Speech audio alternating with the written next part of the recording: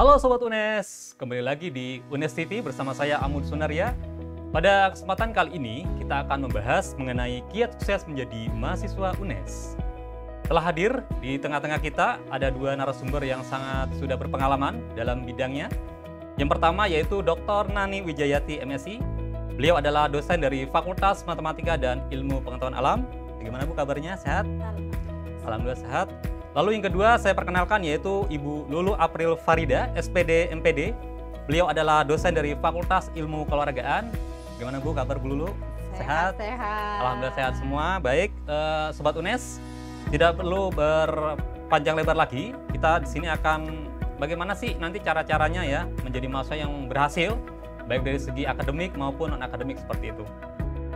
Nah untuk yang pertama saya beri kesempatan kepada Ibu Nani untuk eh, menjelaskan Ibu eh, bagaimana sih eh, sukses mahasiswa itu dari akademik maupun dari segi non akademik. Bisa dijelaskan Bu Nani, silakan. Oke, terima kasih Mas Anggut. Eh, adik-adik mahasiswa, eh, nanti untuk menjadi mahasiswa yang berprestasi, itu mahasiswa harus banyak mengadakan kegiatan atau Hmm. melakukan kegiatan itu baik di tingkat nasional atau internasional. Hmm. Jadi mahasiswa harus bisa membagi waktu antara kegiatan akademik dan non akademik. Non akademik ya.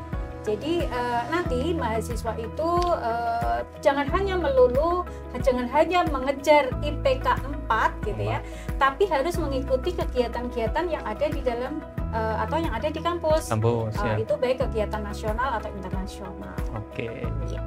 Kalau Bu Lulu nih gimana Bu? Versi Bu Lulu nih untuk menjadi mahasiswa yang sukses baik akademik maupun non akademik gitu. Hmm. Tadi disebutkan Hmm. Kita harus meningkatkan potensi, Potensi, ya, ya. akademik dan non akademik. Non-akademik, Di betul. akademik bisa kita sampaikan ke sobat UNES nih Ya. mengikuti program pertukaran mahasiswa di mana saat ini Pertukaran itu mahasiswa. sedang wah semua sobat UNES itu berlomba-lomba untuk ngikutin kegiatan, ini. Kegiatan. Oke. Ya, kenapa? Nah, sobat UNES penasaran pastinya. Ya. Kenapa sih kok ikut program pertukaran, Pertukaran. mahasiswa? Jadi ada dua kan, Ya. nasional dan internasional. Nasional. Nasional ini Hmm. sobat UNES kuliah di UNES, Hmm. tapi nanti bisa merasakan bagaimana sih atmosfer akademik Hmm. di perguruan tinggi lain. Jadi Oh, bisa kuliah di sana nih satu semester, Satu semester. ya atau dua semester di perguruan tinggi lain, tentunya sesuai dengan hmm. minat. Ini Nah selain belajar akademik, Hmm. kan dia kan belajar culture, culture. budaya di sananya bagaimana, budaya Makan juga bisa. Ya, Juga. bisa juga. Itu yang kegiatan yang sedang banyak diikuti oleh Ini Sobat harus UNES. satu jurusan dengan dia ya Bu. Misal kalau di UNES dia nih mau pindah eh, apa namanya eh, pertukaran di UNESA misal, prodinya harus sama seperti itu ya. Oh, bisa. Bisa ya. Jadi kita kan saat ini sedang mendukung programnya Mas Menteri nih, Mas ya Menteri, namanya ya. program MBKM. Iya. Jadi program MBKM yang untuk pertukaran mahasiswa itu boleh mahasiswa teknik kimia Hmm. kemudian mau ngambil mata kuliah matematika di prodi matematika UNESA tadi UNESA disebutkan misal. itu bisa banget. Bisa, ya. gitu. Tidak hanya pertukaran mahasiswa tadi disebutkan ada Iya. magang juga ya Bu Magang ya. juga ya. Banyak kegiatan magang. Jadi Hmm. kita memfasilitasi mahasiswa supaya mereka itu nanti eh, ini supaya bisa masuk ke dunia kerja. Dunia kerja. Jadi mempersiapkan Hmm. eh, kita mempersiapkan eh, Sobat skill mereka ya. Skill. Berarti artinya Skill mahasiswa supaya nanti bisa terserap banyak di dunia kerja. Hmm. Artinya dia eh, sebelum lulus sudah bisa ini ya skill apa namanya eh, untuk pengalaman kerjanya sudah mulai terasa gitu ya sejak di Iya. kuliah ya. Baik eh, Bu Nani untuk ini Bu, jadi kan di perguruan tinggi itu ada lomba dan kegiatan nih Bu. Nah kalau untuk mahasiswa nih, biar dia itu lombanya itu apa aja sih? Maksudnya yang mau diikuti gitu, apa jenisnya apa aja, terus kegiatannya seperti apa gitu? Bisa Oh dijelaskan? iya. Hmm. Eh, mengenai lomba di UNES itu banyak sekali. Itu jadi eh, salah satunya itu yang disebut dengan program kreativitas mahasiswa. Itu Hmm. termasuk eh, lomba yang sangat eh, Diminati ya. sangat Diminati, oleh ya. mahasiswa. Dan bergengsi kalau nggak salah ya Bu ya. Untuk peningkatan eh, pemeringkatan universitas. Ya. Jadi eh, lomba itu nanti diadakan setiap tahun. Itu Mhm. tidak hanya PKM ya eh, sobat mahasiswa. Hmm. Jadi ada namanya Peksiminas itu juga. Seminas, oke. Kemudian ada Pomnas, Komnas, kemudian ada kegiatan yang hubungan dengan teknik-teknik gitu ya, Teknik, teknik, eh, sipil, ada eh, pesawat, Mhm. kemudian ada jembatan gitu. Jadi banyak sekali kegiatan yang di tingkat Belmawa. Hmm. Nanti banyak juga kegiatan yang di tingkat internasional. Hmm. Nanti akan jelaskan oleh Mbak Lulu ya. Iya. Jadi eh, silakan eh, adik-adik bisa melakukan apa saja yang Hmm. ada di sini. Itu untuk kegiatan-kegiatan yang bisa mendukung Hmm. eh, mendukung eh, prestasi kalian baik di akademik atau non akademik tadi.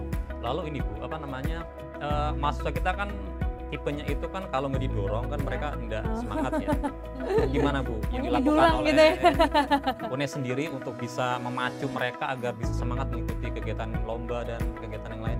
Iya, kita selalu melakukan sosialisasi Hmm. baik lewat BEM atau lewat eh, LK-LK yang ada Hmm. di dalam di UNES sendiri itu. Hmm. Jadi sosialisasi baik eh, kegiatan yang nasional atau internasional Hmm. itu kita eh, selalu lakukan. Hmm. Hmm. Jadi supaya mereka itu itu tadi mas, jadi supaya kita itu tidak mendidik mahasiswa untuk menjadi mahasiswa kupu-kupu gitu. ya. Iya. Kuliah pulang, kuliah pulang gitu kan. Iya. Iya. Oke. Selanjutnya dari Bu Lulu, silakan Bu, mungkin bisa dijelaskan bagaimana sih eh, di internasional ya, terutama untuk lomba dan kegiatannya itu Eh, dari mulai mereka itu nanti daftar, terus persyaratannya mudah tidak seperti itu. Iya. Jadi lomba itu kan banyak banget jenisnya Iya. ya. Ada di tingkat universitas sendiri juga ada kan. Jadi ada di tingkat prodi, kemudian fakultas, universitas, tingkat nasional bahkan sampai internasional. Nah, informasi-informasi ini sebetulnya mudah banget ya diperoleh oleh sobat UNES nih melalui website UNES ya. Kemudian di UNES TV juga Hmm. sering memberikan informasi di Instagram. Jadi media sosialnya UNES itu perlu diakses oleh sobat UNES sehingga Hmm. akan mudah mendapatkan informasi Mas. terkait dengan syarat tentunya syarat tahapan itu sudah juga dijelaskan di sana. Jadi mudah sih buat Hmm. sobat UNES untuk mengikuti kegiatan ini. Kalau mahasiswa dulu memang kupu-kupu, kalau Hmm. sekarang mungkin koala ya. Koala. Iya. Kuliah online, kuliah Iya. online gitu. Sekarang penting ya. Jadi memang mahasiswa dituntut untuk banyak mengikuti kegiatan ya. Karena tadi disebutkan jangan hanya melulu tentang IPK ya, Bu Neni ya. Sekarang nanti sekarang IPK sudah tidak jadi. Ya, apa sih prestasinya? Jadi kalau lihat di CV itu, oh ya, eh, sobat UNES Hmm. A ini pernah ngikutin lomba Hmm.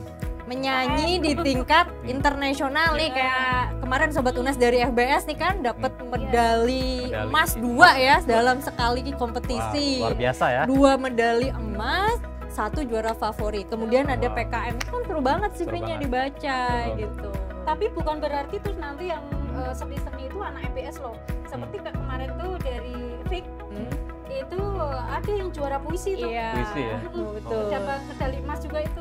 Iya. Padahal bukan dari MPS. Iya, sama juga dari FH ada yang juara taekwondo nasional Wow, juga. luar biasa ya, Iya. taekwondo ya. Heeh. Oke. Jadi apa banyak sih kegiatan yang bisa diikuti oleh Ikuti. sobat Untuk ininya UNES. sendiri Bu, apa dari UNES sendiri nih kalau misalkan dia mau mengirimkan ke internasional, itu eh, mekanisme dari apa namanya eh, mulai dari persiapan itu seperti Ah. apa sih Bu? Kan Oke. istilahnya nggak nggak- nggak sebentar toh, nggak instan toh, kan lama. Mulai dari bahasa Inggrisnya harus Ah. excellent dan sebagainya. Ini pertanyaan yang Iya. sering muncul ya, Iya. eh, sobat UNES ya, apalagi untuk sobat UNES yang masih semester 1 nih. Gimana sih caranya biar bisa ikut kegiatan di luar negeri itu Hmm. banyak banget.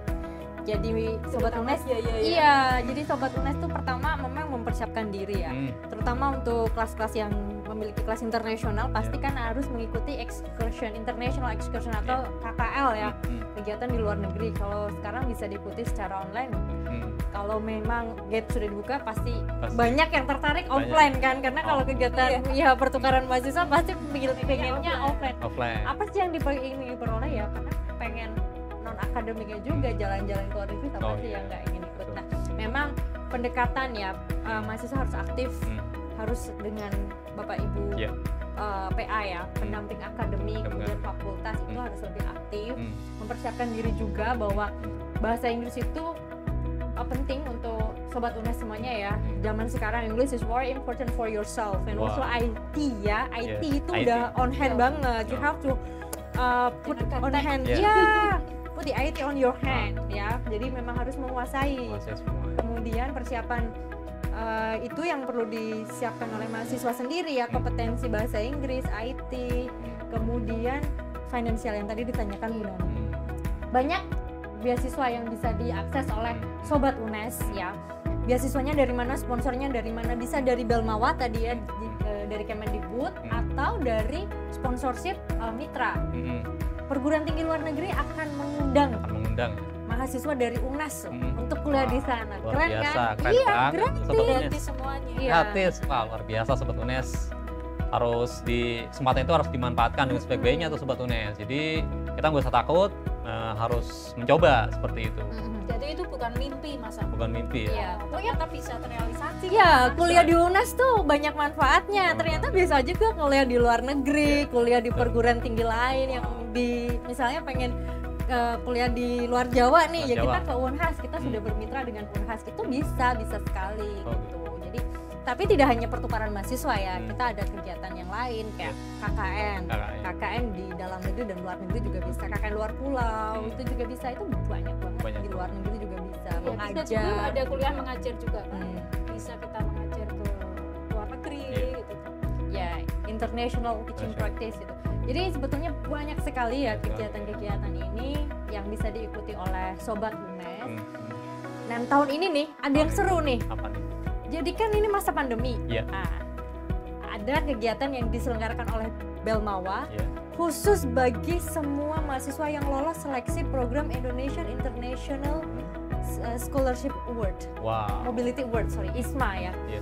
Ini Hmm. itu kegiatan bergengsi banget. Hmm. Jadi uh, full scholarship dari mulai airfare, Hmm. living cost Hmm. sampai tuition fee-nya dibiayai oleh Wah. ya dibiayai oleh Kemendikbud. pengen ya. jadi mahasiswa lagi Pasti dong saya juga.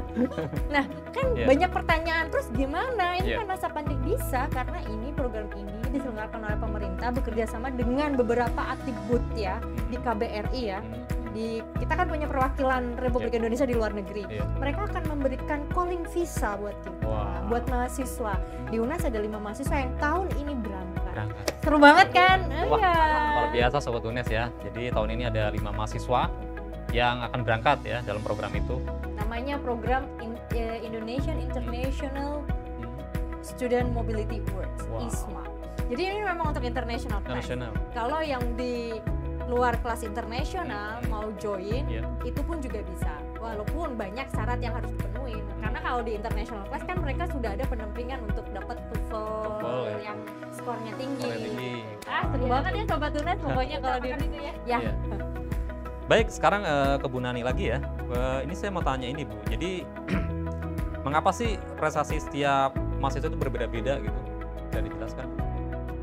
Padahal kan waktu mereka itu sama. Misal mereka kuliah sama, terus apa yang kalau apa mereka mungkin memang terlalu banyak apa namanya tiktokan. Nah, sekarang kan zaman tiktokan tuh.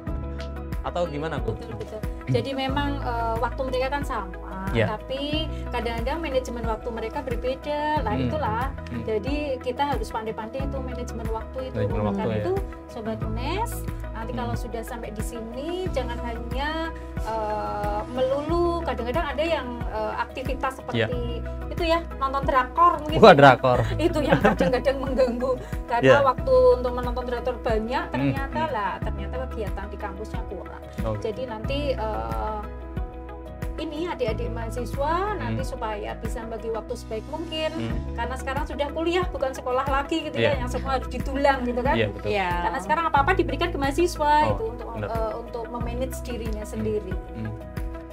Untuk Bu Lulu sendiri gimana Bu tadi? Eh, ini Bu apa namanya? eh, mengapa setiap mahasiswa itu prestasinya berbeda-beda seperti itu? Ya. Padahal kan mereka punya waktu yang sama, Ya. ya toh jam 24 jam sama, perkuliahan juga diberikan sama. Apa sih yang menyebabkan faktor hal tersebut? Gitu? Ya, jadi menurut saya Iya.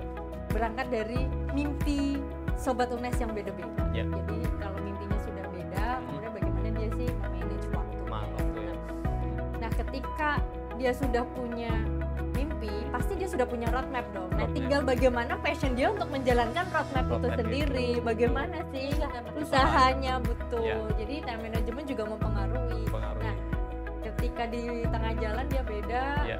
beda ya oh aku kok tadi passionnya ke sini tiba-tiba di tengah jalan Iya. berbeda ya udah bagaimana sobat UNES itu mau menggapai cita-cita itu Cita-cita. jadi sebetulnya kembali lagi ke diri sendiri, Diri sendiri. mengukur kemampuan diri sendiri itu Iya. kan juga nggak gampang ya Hmm. untuk meraih sukses itu harus berangkat dari bagaimana how you assess yourself Wow. wah gitu jadi nah and you can start what you have to do for the first time nah nanti dia tahu oh ya uh, ngelis kan Ngelis, ya. jadi ini yang harus aku lakukan Oh. nah di situ nih kalau sobat unas nggak punya roadmap nggak punya mimpi Ya. apalagi ya waduh. Jadi kuliah hanya kuliah aja. Pokoknya Nah, kuala aku ya mah kuala kuliah online ya kuliah tiga aja udah cukup gitu misal. wah itu udah Repot ya. udah alamat nggak usah kuliah aja lah kalau kayak gitu Iya, iya. Loh, sekarang kan ada Merdeka Belajar kan. Ya. Jadi mereka di- mungkin sudah punya roadmap gitu ya. nah Tapi itu. sekarang malah diberi kesempatan nih adik-adik mahasiswa nih. Jadi diberi kesempatan untuk Mhm. eh, mengasah